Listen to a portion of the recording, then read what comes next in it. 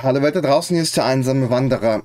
Ihr habt es mitbekommen, es gab ein Attentat auf Stürzenberger. Es gibt dazu mediale Reaktionen und äh, die möchte ich mit euch einmal besprechen, als auch Reaktionen, die ich äh, im privaten Gespräch bekommen habe, zu denen ich einmal Stellung nehmen möchte. Ja, ich glaube auch, das wird nicht das letzte Video zum Fall sein hier. Denn äh, unter anderem brauchen wir sicherlich eine versachlichte Debatte, aber das soll in einem anderen Video Thema sein. Ich habe mir die Reaktionen angeguckt und in der Presse ist mir eins aufgefallen. Gehen wir erstmal zur Presse, dann gehen wir zu den privaten Chats. In der Presse wird gesagt, ein Angreifer, ein Mann, ja, äh, dann, was habe ich noch gehabt? Nicht, nicht der attackierende Angreifer, Mann, Täter oder irgendwie sowas. Ähm, was hier klar vermieden wurde, ist zum einen das Wort Islamist, mutmaßlicher Islamist, islamistischer Terrorist, mutmaßlicher islamistischer Terrorist. Ich will mich ja noch gar nicht zu islamisch äh, sozusagen runterbegeben. Ne? Also bleiben wir beim islamistisch. Äh, das fehlt mir hier. Und es wird auch mal sehr indirekt das Ganze betitelt. Ja, in unserer Demokratie darf keiner dem anderen Gewalt antun, so ungefähr. Solche Sachen lesen wir ungefähr äh, in dem ja, Bereich oder ein Stich ins Herz der Demokratie. Hier werden aber nicht Ross und Reiter genannt. Und ähm, das fällt mir schon auf. Man hätte schreiben müssen, der Islamist, der äh, Terrorist. Das wäre richtig gewesen. Das sage ich jetzt zu, das behaupte ich jetzt. Ich muss fairerweise dazu sagen, natürlich kann man sagen, ja, das wissen wir ja gar nicht. Und man könnte natürlich jetzt sagen, ja, wir schreiben jetzt von einem Mann oder so, nur weil wir können es ja nicht genau wissen, dass es eine terroristische Attacke war. Eine islamistische. Ja, klar. Vielleicht hatten sie Streit beim Poker. Klar, verstehe ich die Argumentation. Nur bei rechten Tätern ist man da eher schneller bei der Hand, das muss man auch dazu sagen. Da hat man solche Hemmungen nicht. Und zweitens ist doch die Wahrscheinlichkeit extremst gering, dass es so war. Ja, der Typ hat sich vorher aufgeregt, Stürzberger hat es gemeldet. Die Polizei hat also offensichtlich entschuldigt, wenn ich so sage, verkackt. Da irgendwie dafür zu sorgen, dass dieser Typ, nachdem der ja auffällig war, zu ihm vordringt und ihn absticht. Das muss man, denke ich, so hart erstmal sagen, nach dem bisherigen Sachstand. Ähm, und dann wird es wohl nicht die verlorene Pokerrunde gewesen sein. Also ich glaube, hier könnte man es mal verantworten. Natürlich würde mir eine ordentliche journalistische äh, Arbeit sagen, dass ich das natürlich noch nicht schreiben darf. Aber zumindest hätte man schreiben können, mutmaßlicher Terrorist. Es wird hier schon wieder ein bisschen weich gespielt. Das fällt mir schon auf. Da ist man an anderer Stelle schneller bei der Hand. Ja? Also wir sehen hier wieder gute Opfer ähm, ne? und böse Opfer. Und gute Opfer, nein, gute Täter und böse Täter. Das äh, behaupte ich an der Stelle. Natürlich wird sich die Presse hinter ihrer journalistischen Sorgfaltspflicht verstecken, aber da muss ich halt auch fragen, ja gut, und warum gilt die sonst nicht? Warum gilt die sonst nicht? Hier auf einmal ganz ordentlich? Ja, okay. Nee, ich glaube eher, ähm, man möchte das nicht. Man möchte das nicht. Wir hatten gerade Sylt, das war so super, ne? Mit Sylt konnte man das richtig die Nazi-Keule raushauen. Jetzt kommt der blöde Islamist und sticht hier mehrere Leute ab. Das passt voll nicht ins Konzept. Das ist total doof für die Presse und für die Medien und für die Politik. Würden böse Zungen sagen. Ja? Dann habe ich noch Reaktionen gesehen, die auch klar ein bisschen Schuld zuteilen. Die Bildzeitung ist vielleicht vorgeprescht mit Aufklärung und Anführungszeichen, mein Video mal angucken, ja. Und dann noch der Aufzählung, was er für Vorstrafen hatte, ne, so ungefähr, dass man so ein bisschen das Gefühl hat, naja, selber schuld die Sau, ne? Was macht er denn das auch? So, so, so, so ein mieser, aggressiver Typ hier, kein Wunder. So ein bisschen Mitschuld geben und den Vogel abgeschossen hat, die eine Schlagzeile, jetzt bin ich nicht ganz sicher, wer es gesagt hat. War es Rainer Wendt? Ich will das nicht hundertprozentig sagen, aber irgendwer hat gesagt, da sind halt Extremisten aufeinander getroffen. Das Opfer wird also zum Schuldigen damit erklärt. Er ist ein Extremist, ein anderer Extremist kommt, ja, gut. Na, wo gehobelt wird auf allen Spänen, dann stechen sich halt die Islamisten halt mal gegenseitig. Ja, aber es ist halt so, ne? Das ist hart, finde ich. Das ist Schuldzuweisen dem Opfer. Ähm, und das gefällt mir nicht und ich sage euch gleich im Anschluss auch noch, warum ich das für schlecht und undifferenziert halte. Dann habe ich im persönlichen Gespräch und im Chat auch sowas gehört wie, naja, na, das war die eine Sache. Und ich möchte hier demjenigen nicht an Karren fahren oder irgendwas behaupten. Ich versuche das noch zu wiederholen. Der hat halt geschrieben, ich denke, das war auch jemand mit Migrationshintergrund, ja, wer immer gegen Islam hetzt und so, ja, kein Wunder, dass das passiert. Mm, das, glaube ich, war jetzt nicht gemeint im Sinne von, ähm, hat er verdient die Sau? Das denke ich war es nicht. Wohl wird es aber eine Menge Leute geben, die genau das denken. Davon könnte ausgehen. Wird eine Menge Leute geben, die sagen, ja, geil, endlich ist die Sau weg, der Scheißhetzer. Ne? Das wird es geben. Seien wir ehrlich, in den muslimischen Kreisen wird es das geben. Ich möchte immer wieder sagen, dass wir bitte eine differenzierte Sicht auf unsere Mitbürger anwenden. Das ist eine ganz wichtige Geschichte. Auch dazu werde ich möglicherweise noch ein extra Video machen. Ähm, nichtsdestotrotz, es wird in diesen Kreisen teilweise Freude geben. Das wird so sein. Äh, und dann habe ich gehört, ja, er ist halt im Prinzip ein Demagoge, tut mir halt nicht besonders leid und ähm, war ja klar, dass es passiert. Irgendwann, wer immer hetzt so ungefähr. Naja. Ähm, hier muss ich sagen, Vorsicht. Vorsicht. Also, was ist denn, nehmen wir mal jetzt äh, das, was ich gesagt hatte, ja, wer immer Hass und Hetze verbreitet, ne? So nach dem Motto. Ich habe ja auch geschrieben, es war wahrscheinlich, es ist passiert. Ich erkläre jetzt, was ich damit meine. Ähm, Hass und Hetze, was ist das? Das müsstest du erstmal definieren. Das Problem ist nämlich, Herr Schürzenberger sagt vielleicht, das ist meine freie Meinung und ich darf das und wir haben Demokratie. Und jemand, der vielleicht sehr religiös ist, sagt, das ist Hass und Hetze gegen meine Religion, das geht gar nicht. Andere Einstellung. Deshalb haben wir ein Grundgesetz, deshalb haben wir theoretisch demokratische Regeln, wie wir uns verhalten. Und ähm, der eine sagt vielleicht, es ist Hass und Hetze, der andere sagt, es ist meine Meinung, ich darf das sagen. Und jetzt kommen wir zu einem ganz wichtigen Punkt. Ja, es ist ja clever, dass passiert ist, aber anders als vielleicht manche es meinen. Und das werde ich gleich versuchen, euch näher mitzugeben. Also, ähm, vielleicht kann man sagen, ist Stürzenberger ein Demagoge. Vielleicht ist er jemand, der hart überzieht, der hart provoziert. Ja, mag sein. Aber in einer Demokratie haben wir in der Theorie Meinungsfreiheit. Und in einer zivilisierten Gesellschaft würdest du sagen, der hat eine Scheißmeinung, das voll der Hetzer, aber es ist Meinungsfreiheit und Demokratie. Soll er reden? Ich sehe es halt anders. Aber in einer Demokratie gehe ich nicht hin und sage, der hat gehetzt, den steche ich ab. Das ist kein zivilisatorisches Verhalten.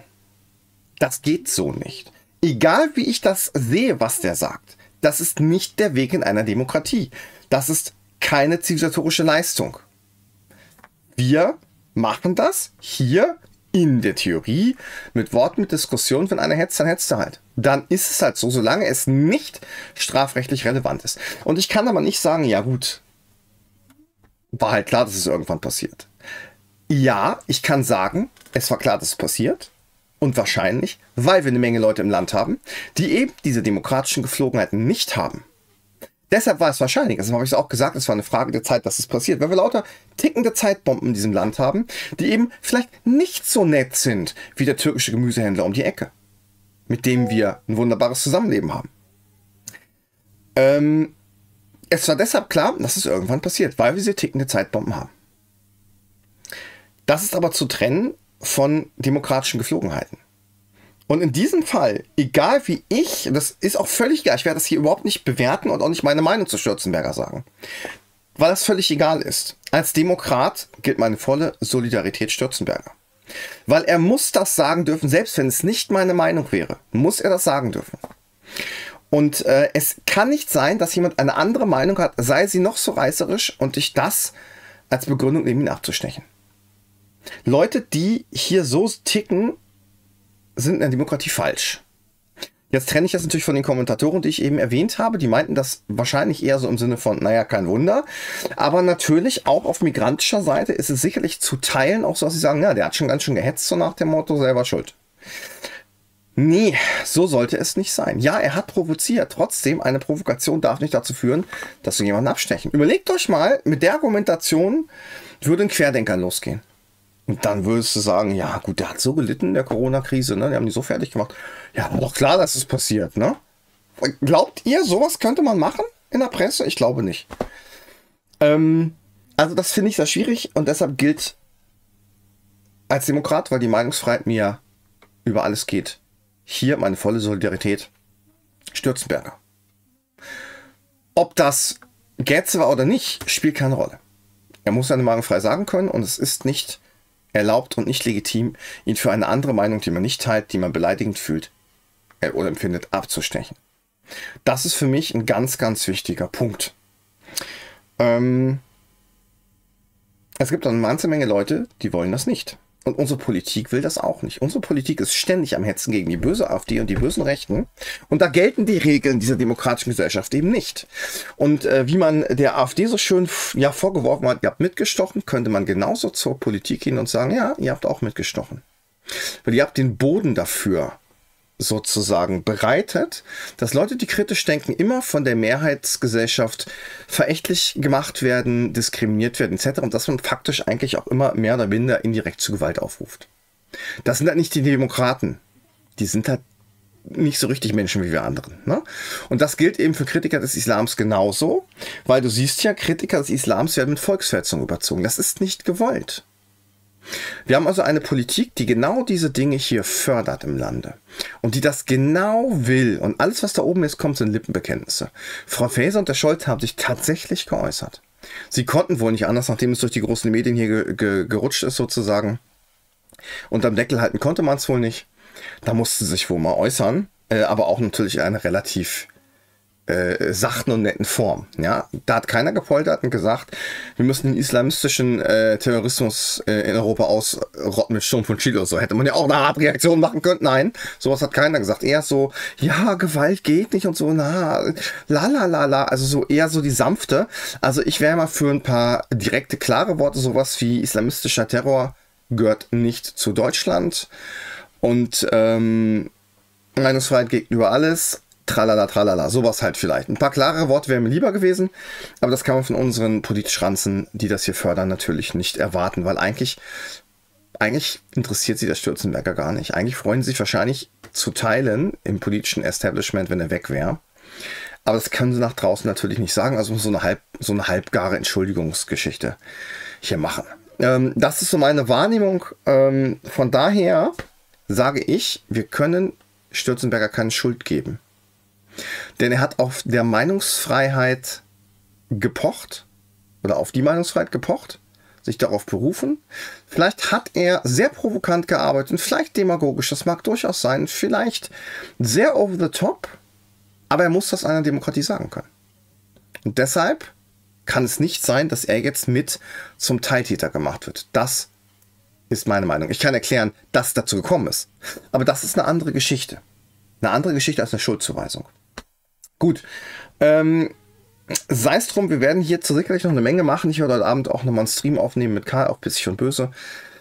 Bis dahin werden wir noch mehr wissen. Bis jetzt weiß man auch noch nicht, ähm, ob alle Opfer überleben werden, etc. Äh, auch die Polizeiarbeit, äh, da kann man nochmal drüber reden. Aber an der Stelle zu den ersten Reaktionen in der Presse.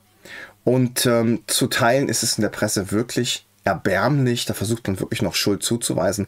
Und das lehne ich aus diesen genannten Gründen jetzt einfach mal ab. Nichtsdestotrotz bleibt in eurer Mitte, bleibt differenziert. Wir werden eine sachliche Diskussion brauchen über viele Dinge, dazu im nächsten Video mehr. Aber was es nicht nützt, ist im blinden Hass zu verfallen. Das sage ich halt auch, sondern eher klar, fokussiert, rational. Auch wenn die Emotionen jetzt natürlich äh, peitschen. Das ist bei mir auch so. Ja, das ist eine Sache, die emotionalisiert, weil du ja auch damit rechnen musst, wen erwischt es denn als nächsten? Erwischt es mich vielleicht mal? Weißt du nicht, ne? Könnte dir theoretisch passieren, ne? Wenn, wenn man mal wieder auf der Demo rumläuft, dass da irgendein Irrer kommt, die wegsticht. Der Punkt ist ja, es kann ja überall sowieso schon passieren wegen der Alltagskriminalität. Und äh, jetzt eben auch noch speziell, wenn du irgendwie Kritik an Religionen übst. Ähm, und so differenziert das versuche auch zu sagen und ähm, wirklich auch versuche, ähm, meine muslimischen Freunde davon zu trennen, von diesen Leuten, muss ich dennoch aber eben sagen, dass man hier nicht sagen kann, Deutsche tun das auch oder Christen tun das auch. Nicht so einfach kann man es, glaube ich, nicht machen. Vielleicht gibt es mal Einzelfälle, die gibt es sicherlich, ja. Klar, die gibt es. Aber sie sind in Relation selten. Das muss man, finde ich, fairerweise sagen. Also hier äh, mit einem Breivik oder so zu argumentieren, das ist schwierig. Weil die, die Verhältnismäßigkeit in den Zahlen äh, meiner Ansicht nach einen solchen Vergleich nicht zulässt. Gut. Sei es drum, bleibt in eurer Mitte. Wir sehen uns demnächst wieder. Wenn ihr das Video mögt und wenn ihr auch eine differenzierte Sichtweise mögt, bitte teilt das Video. Daumen hoch und wir sehen uns zu diesem Thema mit Sicherheit noch ein paar Mal wieder.